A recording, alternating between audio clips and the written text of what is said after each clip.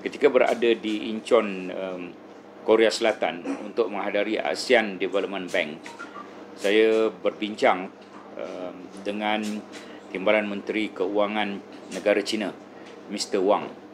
Dan um, apa yang uh, yang kita utamakan dalam perbincangan itu ialah untuk memastikan 170 bilion pelaburan daripada negara China sama-sama kita susuli agar MOU yang telah ditandatangani itu akan menjadi realized investment iaitu pelaburan yang uh, menjadi ya, uh, jika uh, syarikat-syarikat yang berkaitan mempunyai apa-apa masalah tentulah mereka boleh menghubungi MITI um, kita ada wakil MITI di Seoul.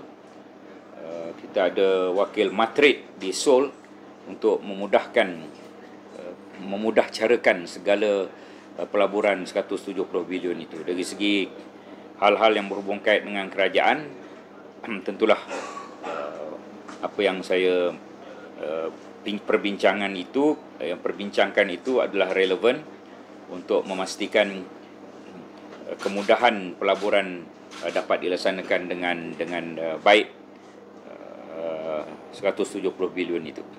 Jadi saya ingin mengulangi perbincangan awal tahun lepas ya bagaimana uh, duta besar China datang bertemu saya pada ketika itu dan juga Datuk Zahid.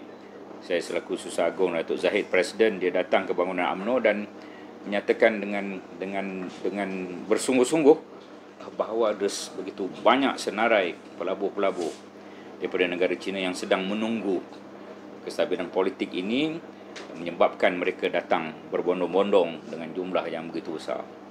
Jadi saya ingin mengaitkan kestabilan politik dengan kemasukan pelabur.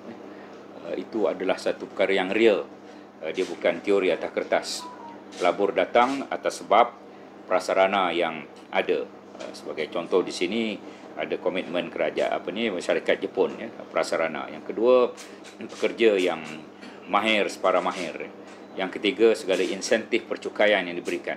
Dan yang paling penting walaupun nomor empat yang paling penting ialah mengenai kestabilan politik. Mereka tidak mahu apabila politik tak stabil uh, dah sign satu perkara lepas itu dibatalkan ya. Sebagai contoh HSR itu adalah contoh yang tidak baik dari segi image uh, negara kita. Eh, setelah kita persetujui untuk laksanakan lepas itu kita batalkan. Kemudian kerana pertukaran kerajaan uh, tidak cukup dengan membatalkan kita bayar pampasan. 100 juta sing dollar.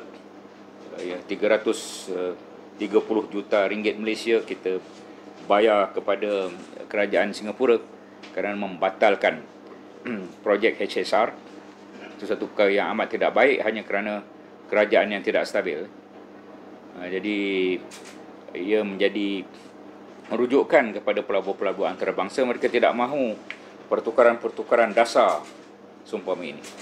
Dasar inginkan high speed rail tetapi kerana politik dibatalkan perkara itu.